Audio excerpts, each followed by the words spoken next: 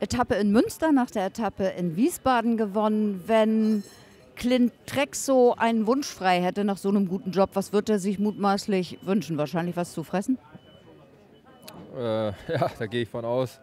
Äh, mal einen Tag Pause, ein bisschen auf die Wiese, was er sowieso jeden Tag macht. Also äh, äh ich glaube, es geht ihm ganz gut, aber ein paar Tage Pause hat er verdient.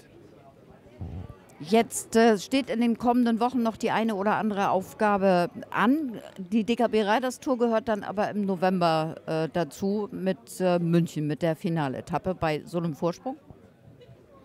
Ja, das denke ich schon. Also äh, jetzt gerade bei dem Punktestand und so wie es läuft jetzt gerade in der DKB Riders Tour ist äh, sehr gut für uns im Moment und äh, das versuche ich natürlich jetzt auch ein bisschen auszubauen. Paderborn ist leider nicht, aber München versuche ich schon äh, hinzubekommen und da äh, auch nochmal gut zu sein.